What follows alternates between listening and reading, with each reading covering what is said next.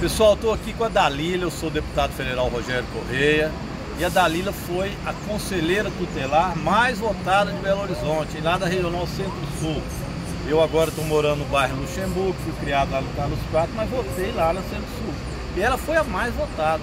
Eu queria parabenizá-la e dizer que estou lá na Câmara Federal, na Câmara de Deputados, se precisar, sempre para fortalecer os conselhos tutelares e o trabalho de defesa do nosso Estatuto da Criança e Adolescente.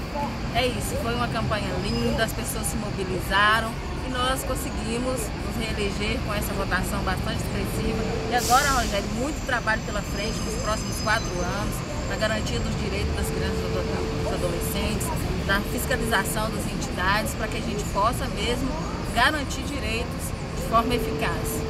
Isso aí, viva o ECA, viva os conselhos tutelares, parabéns, Madalena.